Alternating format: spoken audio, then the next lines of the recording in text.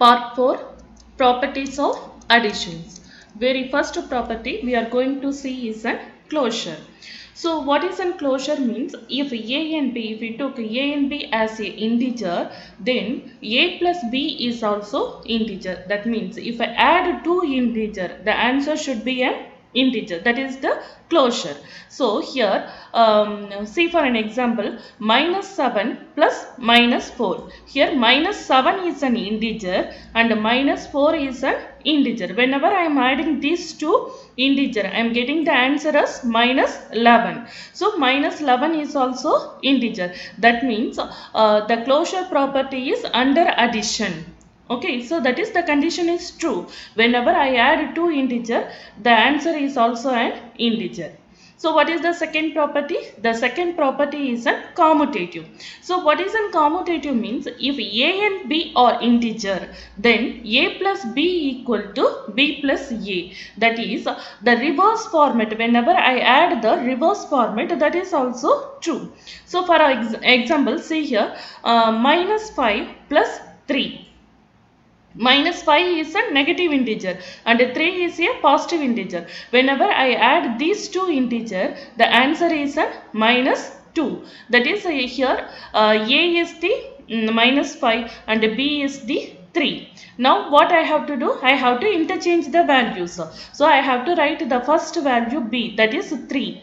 Uh, then uh, second as a A. So uh, 3 plus minus 5. So the answer is a minus 2. That is, so we are getting A plus B equal to minus 2 as well as B plus A equal to minus 2. We are getting the same answer. That means uh, com under commutative, uh, the it is um, integer is closed. Okay, so A plus B equal to B plus A. The condition is true in addition. Okay? So what is the next one? Associativity. So what is an associativity? If a b c these three are integer then a plus b plus c equal to a plus b plus c. So that means here we are interchanging the bracket. Okay? So what is the first condition? A plus b plus c. So here i take the value a as 3 and b as minus 4 and c as 5 okay so a plus b plus c. So what is the addition operation so within a bracket should be executed first. So here within a bracket I am having the uh, integers minus 4 and 5. So minus 4 is the negative integer and 5 is the positive integer. So whenever I add these two, these two are having the different sign. That means you have to subtract. So minus 4 plus 5. So the answer is 1. What is the biggest number here? The biggest number is the 5. So here we get the answer as 1. Then uh, 3 plus 1. So 3 plus 1 is 4. So A plus B within a bracket B plus C. So the answer is 4. So what is the next condition we have to check? We have to check the um, right hand side. That is uh, we have to interchange the bracket. So we have to put the bracket a plus b. So 3 plus minus 4 within a bracket it should be written. Then plus 5. So what is the condition of operation? Very first the bracket should be executed. So inside the bracket we are having the two integer. One is an 3 another one is an minus 4. So these two are different integer. One is an positive integer another one is a negative integer. That means we have to subtract and put the um, biggest number sign. So we, 4 minus 3 is 1 which is the biggest number here minus 4. So the sign is a negative. So I have to put it as minus 1. So minus 1 plus 5. So again we are having the two different integer. One is a positive value another one is a negative value. So that means we have to subtract minus 1 plus 5. So whenever I subtract I get the answer as 4. So um, which is the biggest number here? 5 is the biggest number. What is the sign of 5? It is plus. So you have to write the answer as an 4. Now check the value LHS and RHS. Both are having the same value that is a 4. That means A plus B plus C equal to A plus B plus C. That is the associativity property is true uh, under addition okay so what is the next one?